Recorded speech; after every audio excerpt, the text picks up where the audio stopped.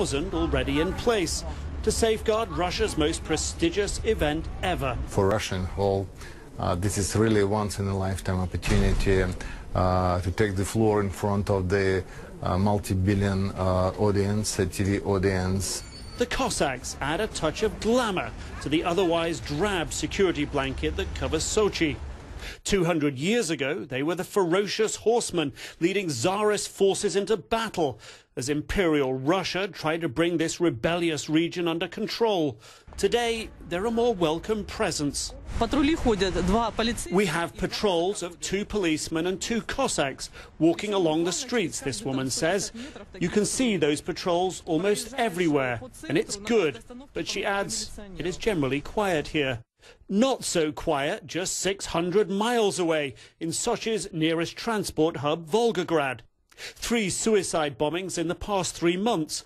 The suspects, Islamist separatists from the North Caucasus. Probably the descendants of the people the Cossacks came to fight. The Cossacks were sort of the frontiersmen for the Russian Empire. They were the cutting edge of the sword of these Russian armies that came in and, and chopped down all the trees in the North Caucasus, uh, wiped out the villages, slaughtered the people, ethnically cleansed them, and raped their women. So the Cossacks are sort of the face of Russian imperialism.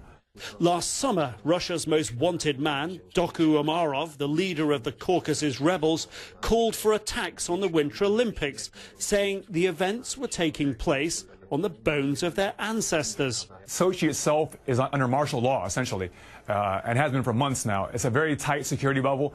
Uh, so I think it's too hard to target for the Chechens or the Caucasian Emirate. But don't be surprised if they try somewhere else. You know, we, have seen them strike Volgograd on December 29th and December 30th, killing 34 people. Today, the Cossacks may be a largely ceremonial addition to the tight security in Sochi. A calculation, nevertheless, to boost Russian pride and for Putin to show the rebels who's really in control. Nic Robertson, CNN, Moscow.